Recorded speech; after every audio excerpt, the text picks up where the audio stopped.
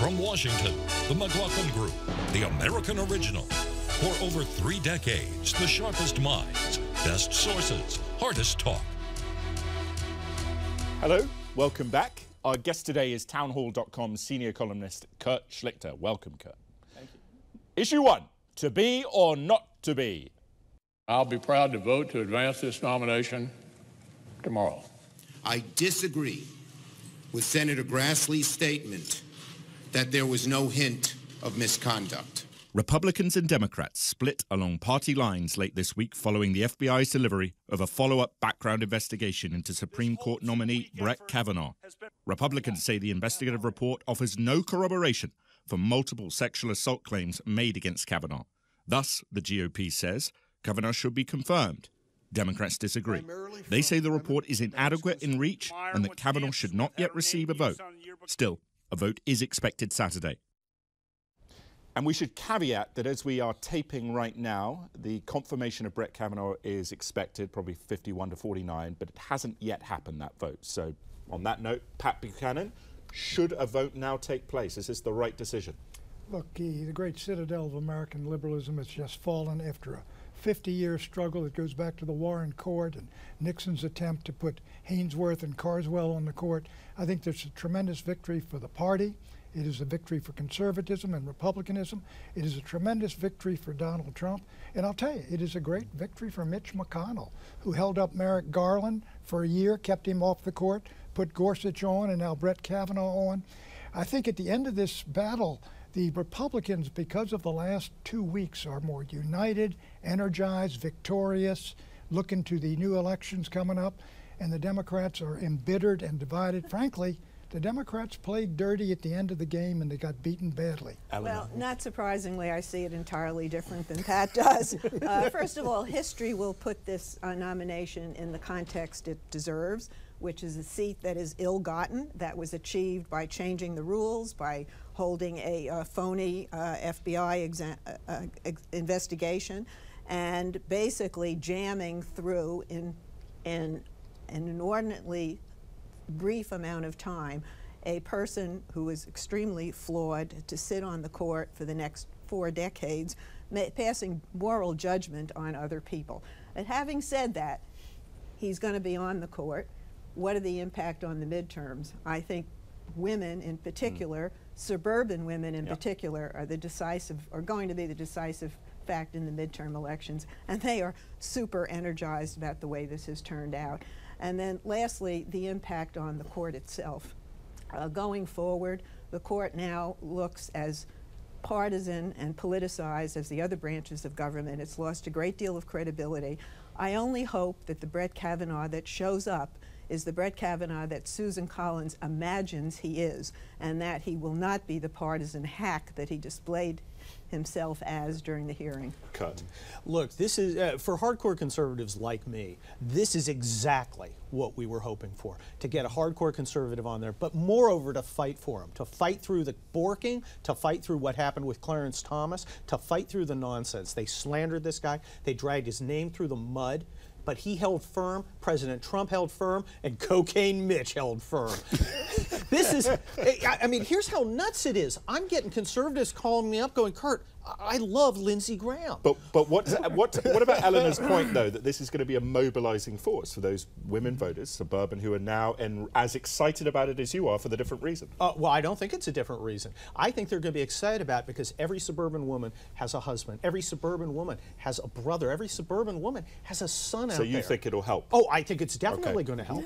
Well, Kurt and I are on opposite sides as far as the political ideology is concerned, but he's got a point when he says that uh, that uh, uh, uh many women uh, who uh, uh, are on the one hand uh, support the Me Too movement, on the other hand are concerned about the the uh, uh, the presumption of guilt that seemed to be hovering mm-hmm. over the whole Kavanaugh affair. Uh, I frankly think this is a big victory for Mitch McConnell, certainly, because it shows that his dirty trick of holding up Merrick Garland has yeah, paid off. It's a big victory for him. He's yeah. probably the most unpopular politician in the country. Yeah. If you want him to be the with, face of the Republican Party, whom, that's not good at the electoral box. great Mitch McConnell unpopular?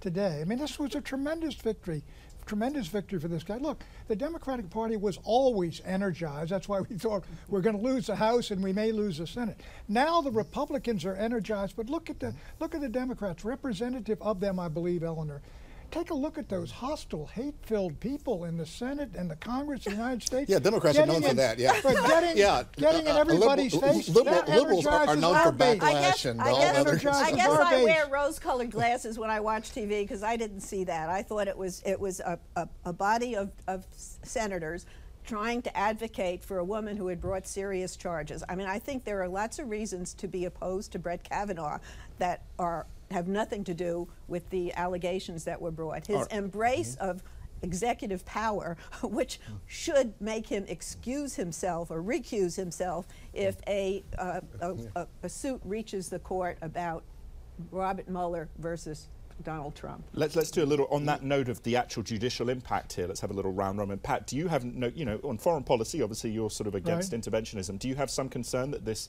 Kavanaugh's, you know, preference towards executive power might embolden future presidents to be? Uh, no, know? I don't. I really don't. I'll tell you, and I'll, and I'll tell you the, the thing is too. You've got two octogenarians on the Supreme Court still. Breyer's 80 years old, and uh, Ruth Bader Ginsburg, your friend, is 107. And they're both going to hang on until they're a lot older than you are. I, I pray for their good health. exactly. And the conservatives are energized and, and praying, but I think the other way for those two right, good Clarence. justices. You know, I want to make one. I'm sorry. Well, one one quick point. You know, uh, something something Democrats have to have to be cautious about is that uh, the polling for white males uh, shot up as far as their approval of Kavanaugh here mm. in the last couple of weeks, which appears to be a direct direct backlash uh, what I was talking about. This is so-called presumption of guilt at the cloud what does of, it mean for the court, white though? male victim, victimization.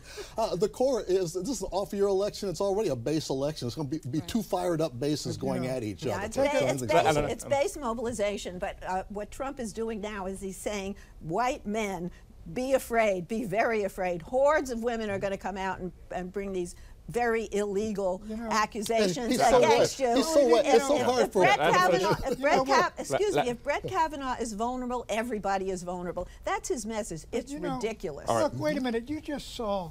I mean, you saw that guy. Whatever you think, and and people believe the, the woman was Miss Ford was was, you know, compelling. That's but he was compelling too. What had been done to this guy, who's a distinguished jurist, he gets ripped to bits. That is what energized folks. They're saying, what are they right. doing to this All guy based on Let, no corroboration? Well, what does this? Wait, wait, wait, wait, wait. Commiserate together. What, what does this mean for the balance of the judicial rulings that are to come? Is Roe v. Wade gone?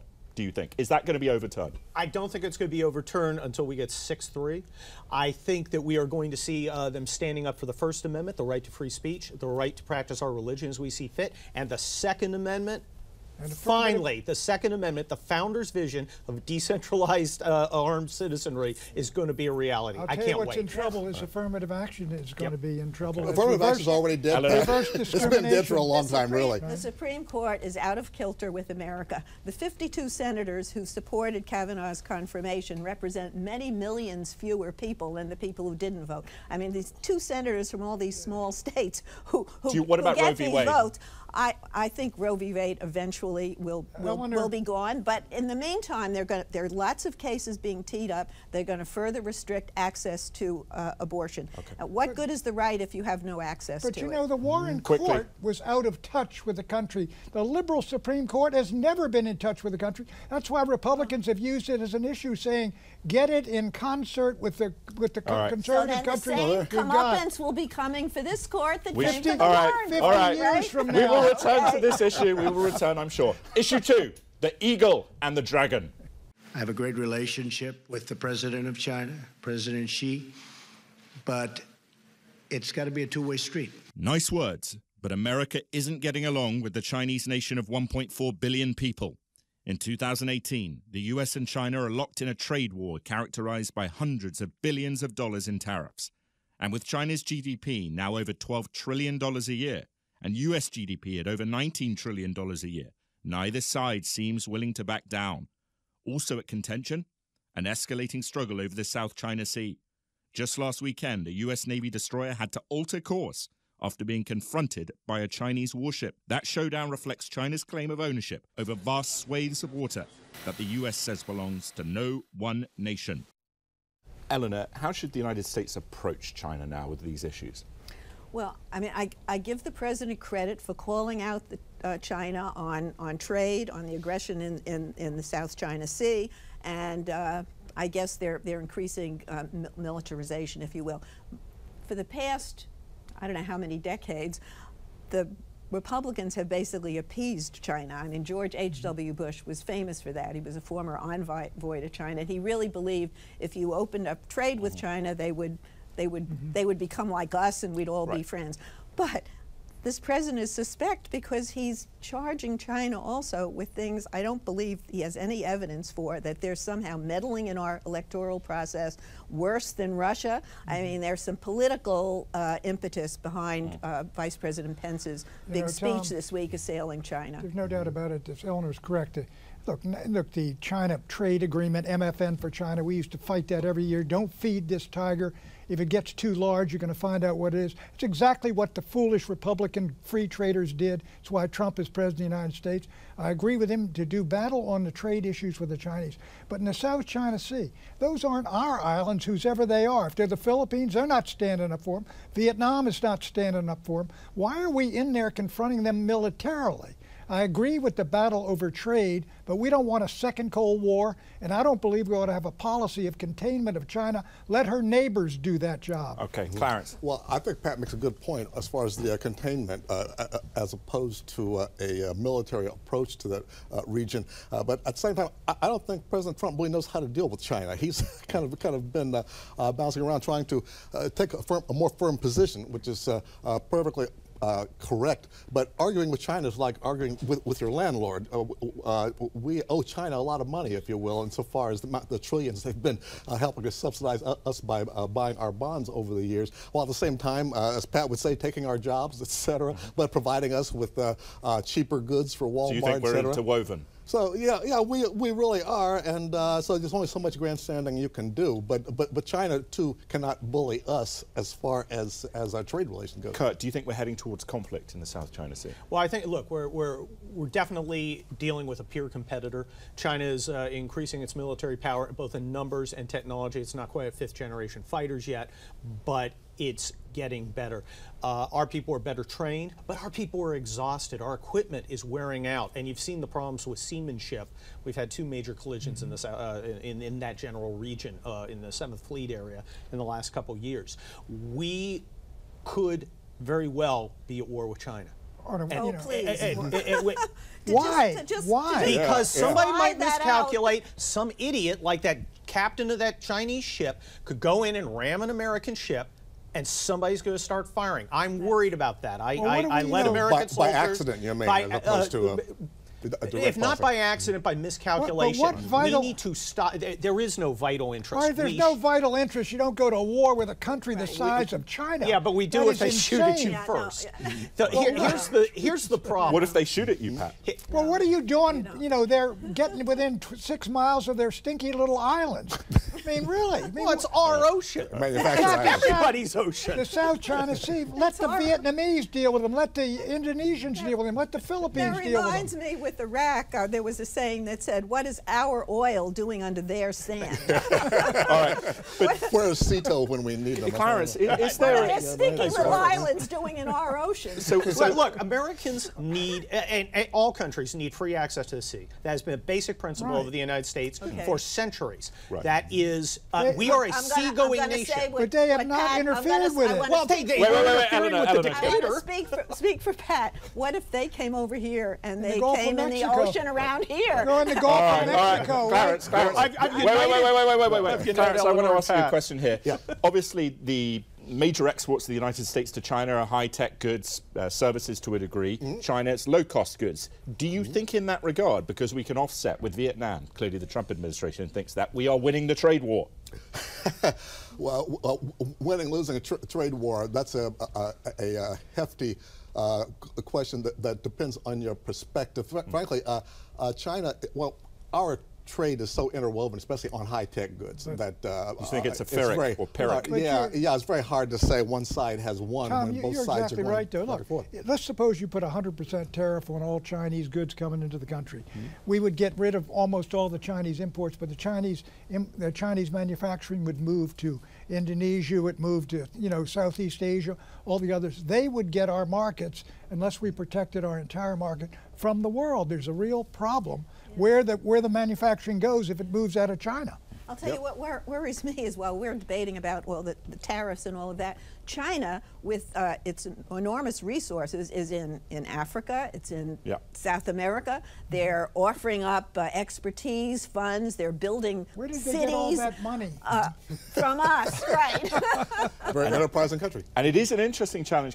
David Cameron, former British Prime Minister, now works at the Asian Investment and Infrastructure Bank. And so, in this idea of the South China Sea, Pat's point, I'm, I'm normally against Pat on this, but th- there is like, you know, it could be America alone, right? Well, it, it could be. Look, there there is a, a globalist uh, uh, cast that supports the kind of uh, uh, free trade regime that we have seen cause so many problems, and i it has hurt America. And low cost goods, though, Yeah, for low, Americans. low cost goods. That, that is true. But you know, you're seeing uh, you know you're seeing people pull up in cars to, uh, in front of carrier plants in uh, Illinois, saying, "Hey, all your jobs are going to Shanghai. But, you know, Adios, learn Let coding." me tell you, no Trump, thanks. Trump is going to have a serious problem at the end of this year. The merchandise trade deficit, the overall trade deficits in goods with China is going to be a record, and with the world, it's going to be a record. As of last month, it was running at the rate of something like 900 billion a year. It's, all, it's all gone up, and despite all of his braggadocio about how he's going to change things. By the by the metric he has set, things are worse. Ho- However, some of these tariffs are going to hit uh, uh, U.S. consumers right at Christmas time when they discover that some, some of these, these uh, gifts we're accustomed to are going to be more expensive than Yeah, but they that's were before. too late. So they there's a need to do the it before November 6th. Well, that, that's, that's not, that's not going to happen, but they're going to be PO'd by New Year's. okay, all right. Okay. On that note, when we come back, a new NAFTA and some other stuff.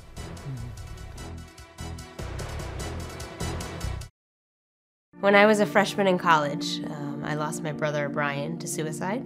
Brian had been a, a very successful college student himself who was president of an a cappella group, sports editor of a newspaper, 3.8 GPA at an Ivy League university. Brian eventually went and sought help in his senior year. The hopelessness and the helplessness that accompanies depression had, um, had gotten to him and had gotten to him so strong that just about a year later, in my freshman year of college, Brian died by suicide.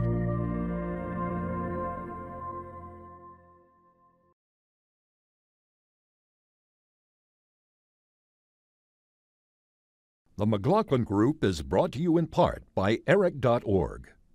With gridlock in Washington, states are stepping in to mandate paid sick and family leave policies, creating a compliance nightmare for companies with a nationwide workforce. The ERISA Industry Committee is fighting back. Learn how we can help your company at Eric.org.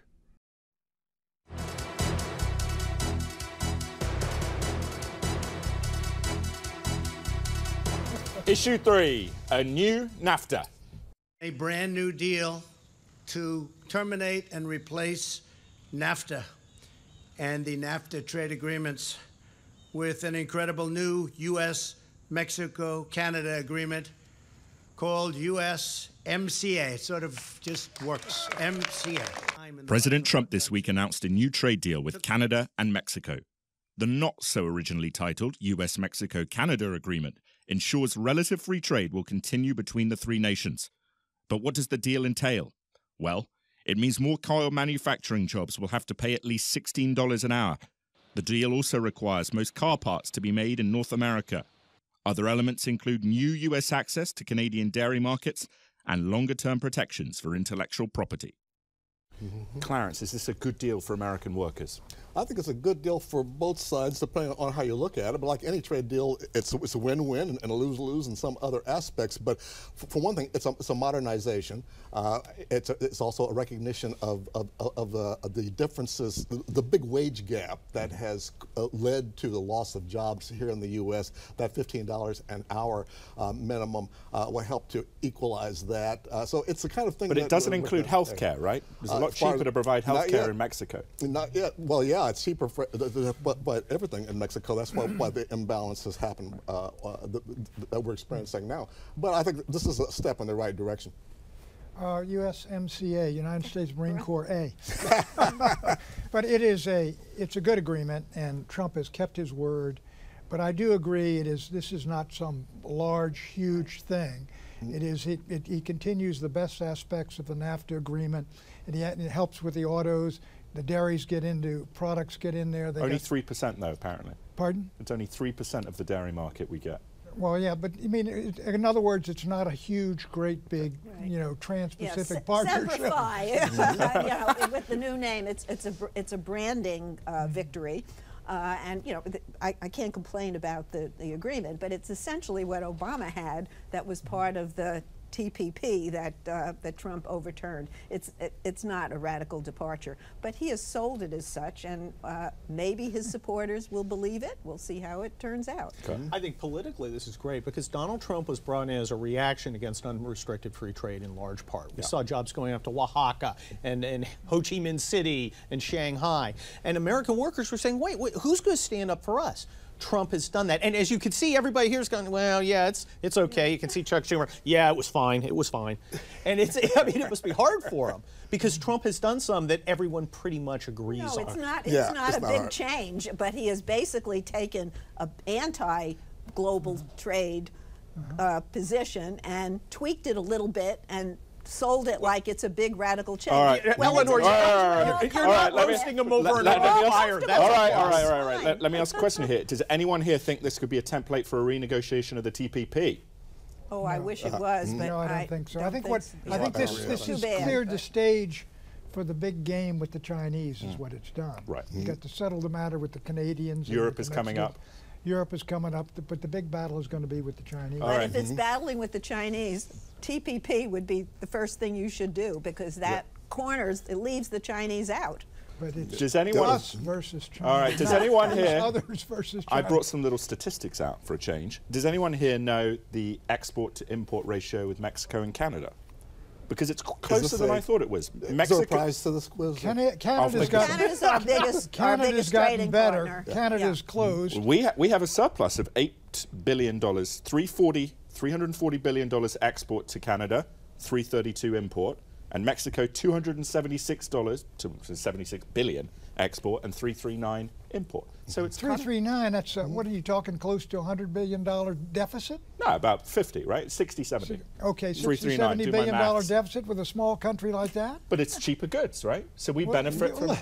But the whole point is Americans ought to make goods for Americans. But it would be higher cost tele t-shirt, yeah. TV. Well, I got we got T-shirts well, in the 50s just fine. Well, back to the 50s. Okay, uh, Amazon is going to raise yeah. the minimum wage to $15. If American companies are willing to pay livable wages, we can make no. everything in this country. I don't think that's going to happen. A lot of other American companies. Yeah. I mean, because they got the ability to do it. Well, well, we got low uh, unemployment now, so uh, you're going to have a greater demand for labor. So, uh, so the, the, the, natural minimum wage is going to uh, is, is, going up.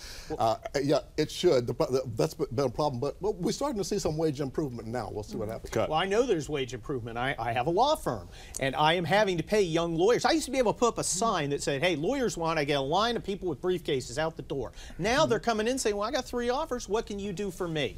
Right. It's a whole different world for workers as opposed to bosses, yeah. and I think it's about time that these young people experience the excitement that that, that I did it's, back in the '80s when the economy was booming. Well, well they, they, did. They did back in the '90s. Unfortunately, but they lost it when the economy crashed. Wages uh, for lawyers are not really the big problem, right. though. Yeah. it is for lawyers when they have well, a two hundred fifty thousand dollar uh, student a, debt. If we have a buyer's market for lawyers, that's the worst news. Do you know what we learned this week? Do you know how much we're paying on the nat the national debt now? The interest on the national debt? It's uh, overtaking billion? what we spend on the military. Yeah, it's a big problem. Right. Entitlement reform. We need entitlement well, reform. I'll tell you, you get interest well. up to five or six percent, like yeah. it used to be, and you're talking to def, what a debt of about 21 trillion dollars. You're talking over a trillion dollars in interest. But, but I, will remind you, President Trump's budget uh, right. bump, bump, that up a trillion dollars. I right. mean, just I mean, forget about being a deficit. Well, you got a tax cut, didn't you, Clarence? Who, who, are the deficit hawks? Didn't cut. you get a big tax I, cut? I'm still trying to find mine, Pat. cut, but, cut, but, but, what happened to the deficit hawks? Do you, know? think the era of fiscal conservatism on either side is dead? Uh, I think I, am not sure it's dead, but I think it's comatose. I think there are other things that we're dealing with right now: rebuilding the military, dealing with these trade issues, and and, and frankly, I don't think there's any appetite to going after the entitlements, which we need to do if we're going to get this under control. What happened to the president's big infrastructure plan? Oh, yeah. yeah. what happened oh, to that? That would be great if we terrific. could do it. Well, but, but, that's more debt. Bipartisan support. that's more debt, but stuff's got. Pat, Pat, Pat, where are you going to get the money for all this? You got exactly. a twenty-one trillion dollar money is debt, cheap. and it's money is cheap right now. But it so won't be forever. No, it's not but, be forever. but we need to build that. We need to rebuild our infrastructure. I mean, we really need to do that. All right. What do you think about? We had news today, actually, from the European Union that they expect a Brexit deal uh, at some point. So now Theresa May's fortunes are slightly rising. Are we going to get a Brexit deal that's good for the British people, do you think? Round robin, yes or no? no, I think they're going to be annoyed. You may get Boris Johnson. Well, I don't know what that is, but you know, all right, Eleanor. It'll not be as good as what they had before they got out of Brexit. Clarence. Right, and why did they announce that the same week as Kavanaugh? We haven't got time to talk about Brexit. I mean, so many issues, so little time. Right. Anyway, on that note, we shall return forthwith with predictions and other offerings for your benefit.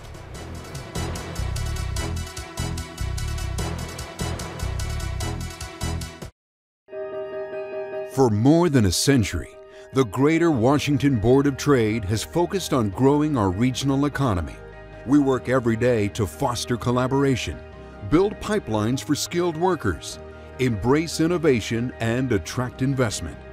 We must think, plan, and act as a region to better leverage our shared assets so we can continue shaping and advancing a vibrant regional economy for the next hundred years.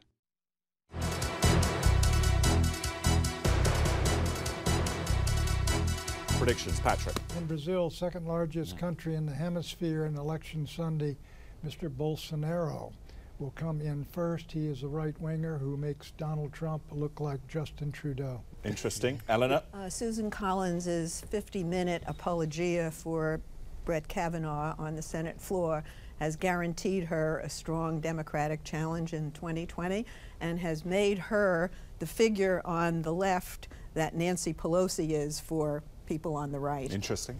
Cut. Okay, California's Rick Grenell. He's our ambassador in Berlin, doing a great job getting the Germans to honor Iranian sanctions. He's uh, conservative, he's evangelical, and he's gay.